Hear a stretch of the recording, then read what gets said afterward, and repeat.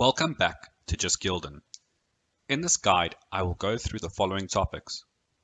How to set up a mining account, what settings you should use, how often you can expect to receive a reward on average, is it worth spending money to upgrade your PC to mine? Let's start by setting up a mining account. Go to Add Account, then choose the name you want for your account. I'm going to call mine just Gulden Mining. And then click on mining account over here. Just enter your encryption password. And then it's okay. And straight away it takes you to the mining screen. So there's two big differences between a mining account and the rest you can only create one mining account per wallet. So if you go back to add account, you can see you can't create another mining account, which makes sense because the resources you use on that machine can't be used by multiple accounts because you just don't have the resources to do it. So I'm going to click cancel here. The other difference is your mining account will only have one Gulden address that it will mine to. Now, if you already know your underlying computer hardware settings for CPU and memory, then go ahead and set your processor usage over on this top line and the bottom line your memory usage to 4 gigs, which is the max at the moment. And then click Start Mining. I'd also recommend checking the automatically mine at startup and keep application open when mining. This ensures each time that you start up the Gulden wallet, you'll automatically start mining Gulden without having to click the start button each time. You can still minimize the Gulden app while you mine and it'll continue to mine. So each time you discover a block, you'll earn 50 Gulden as a reward. And the longer you keep mining, the more Gulden you'll eventually earn over time. I will continue to mine while I go through the rest of the guide, and maybe I'll get extremely lucky and find a block while I'm going through this with you. The next part of the guide is to show users who are unsure of what settings to use for their processor and memory usage. In the description below, I have put the commands for Windows and Mac to see your system resources and in particular you want to look at the logical processors and max memory. I will show you what mine looks like. Since I'm using Windows 10, I'll press the Windows plus R button at the same time and then type in msinfo 32. Type it msinfo 32. So this will bring up the system summary for your PC. And the two things you need to look at is processor and your total physical memory. So let's look at the processor in my case, I've got eight logical processors, and you'll just need to see how many you have. Total physical memory installed is 32 gigs. Let me minimize this. So when I set my memory usage, I will use all 4 gigs. Since I have 32 gigs in total, I will be able to perform other tasks comfortably. However, if you're sitting with a PC or laptop that only has 4 gigs in total, I would recommend dropping this down to either 3 or 2. Just because your operating system also needs memory to run and you might be performing other tasks on that laptop or PC. So I'm going to switch back to 4 gigs. However, for processor usage, it'll depend if I plan to use this computer for something other than mining. I will need to evaluate what tasks I'll be doing with this PC. And everyone's situation will be different. Some people might only use it for mining and other people will have multiple uses for their computer that they're mining on. For instance, if I am not using the PC or only plan to use it for mails and low-end tasks, I can leave it on max threads. If I decide to watch a movie, play games, or do work that requires more system resources, I would reduce this to about 4. And then when I'm finished doing my work, I would raise it back to 8. So as you can see on this bar here, you can just move the slider to where you want the processor usage to be at. And I've set it to 4 threads in this case. So I will put this back to 8 and leave it there.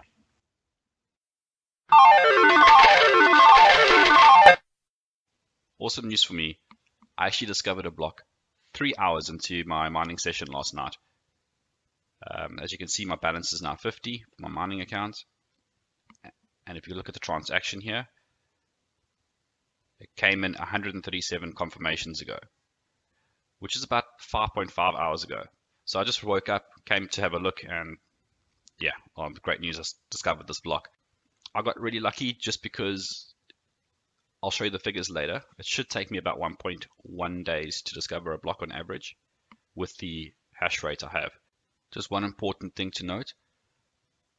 You need to have 101 confirmations before you can actually send your mining reward out. So let me just show you. I can actually send it out now because I've already had 137 confirmations. So if I go to my business account, uh, go to receive, and then just copy the address here. Go back to my mining Gulden accounts and then let's paste the address in here. And then max to send the 50 out. And I'll just click send. And I put my pass uh, encryption passphrase in.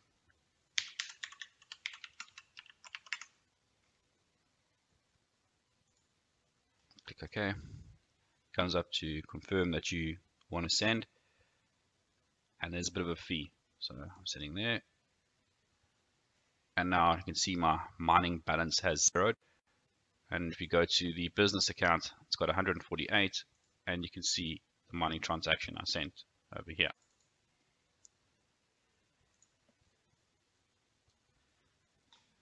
So I'll now move on to the next section of the guide.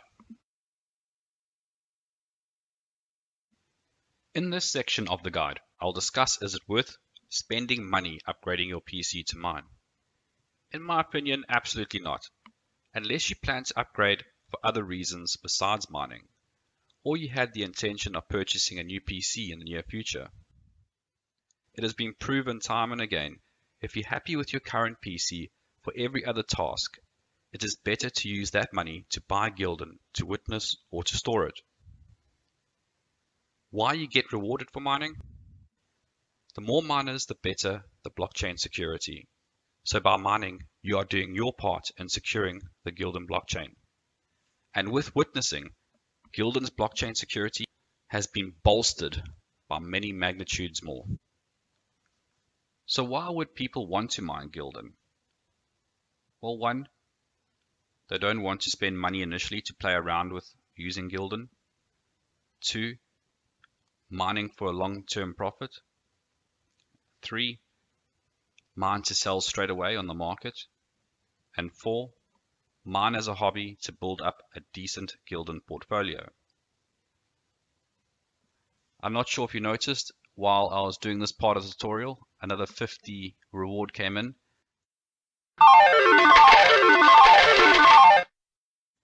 Um, as you can see the transaction over here, and it's just two confirmations. So I actually have got really lucky uh, having two blocks within 12 hour period when I should only be getting one on average every 1.1 days. So what could actually happen is my next block could take two days to be discovered. It just depends. Okay, so I'm going to close that. Now I'm going to show you that I can't send a transaction because the 101 confirmations hasn't been confirmed. So let me just prove it.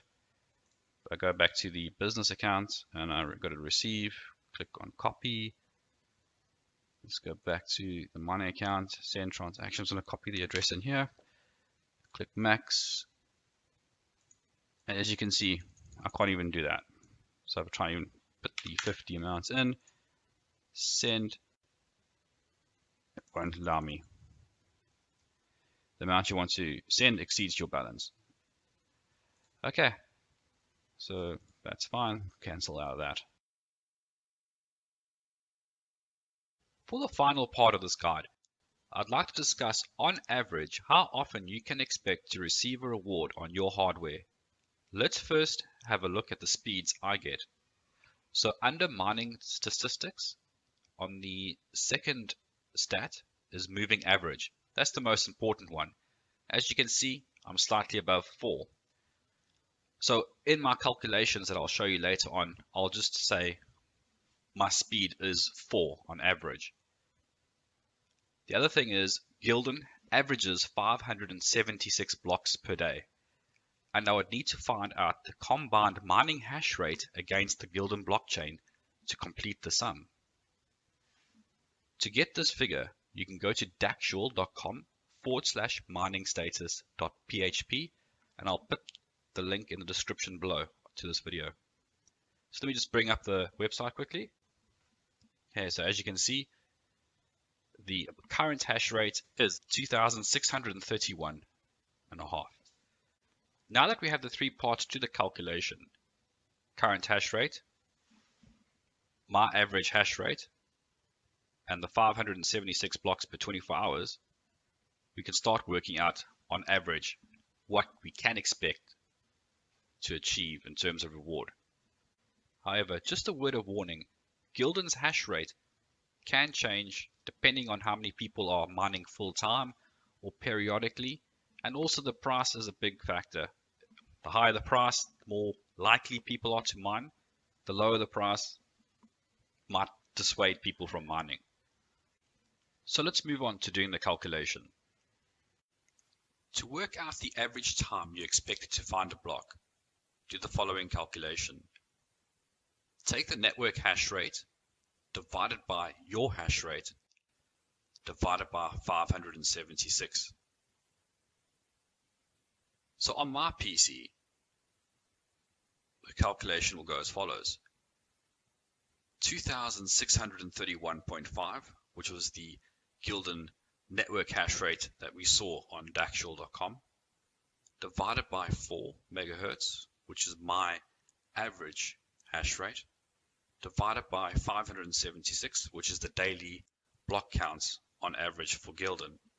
And I'm expected to earn Gulden reward every 1.14 days. So please bear in mind, I keep using the word average because that's what it is. So in my particular case, it could take two days to find a block or two or more blocks in one day, which we saw occur while I was making this guide. This concludes the mining guide. I hope it's been helpful in getting you started with mining Gulden. See you in the next guide, and take care.